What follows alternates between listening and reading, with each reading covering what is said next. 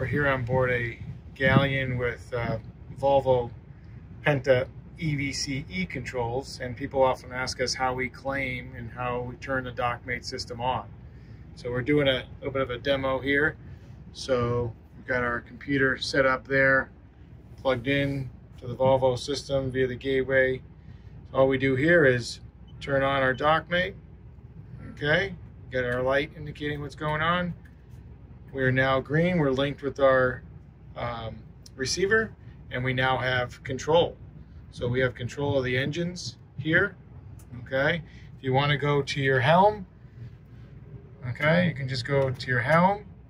Okay, and if you want to go up top, you just claim that station up top. And then we'll show you how to claim the DockMate again. So now we're on the flybridge here.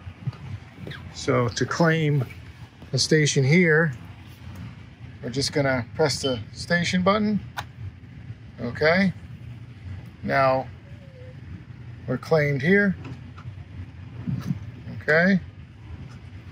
The DockMate has no function, doesn't work. Okay. Let's press the select button because the DockMate is already on. And now the DockMate has control. And that's it. Very simple to switch back and forth between the DockMate and the Volvo Penta controls.